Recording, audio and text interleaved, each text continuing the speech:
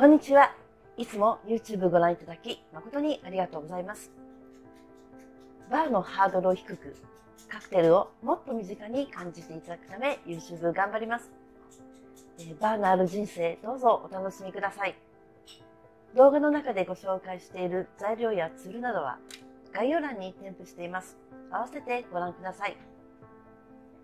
さて、えー、最近とっても人気のジンです、世界各地で作られています。皆さんはソーダ割りとかジントニックで召し上がることが多いと思いますが、実はジンもお湯割り美味しいです。体が温まりますのでおすすめです。簡単に作れます。お好みのジンをご用意ください。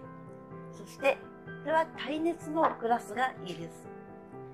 あらかじめちょっと温めておきます。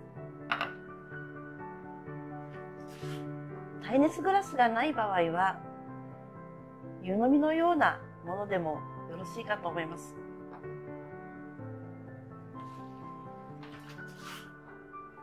温めましたら、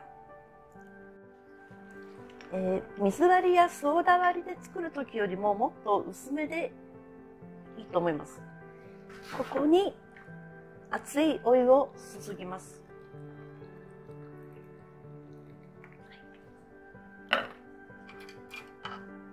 軽く混ぜていただきましたらお正月らしくおめでたく金粉を飾ってみたいと思います。こちらは加賀の金箔です。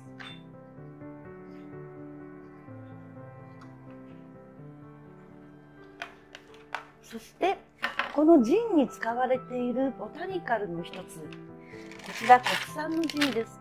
日本らしいボタニカルということでこちらの、えー、柚子が使われています。こちらを少し削ってみます。食べてください。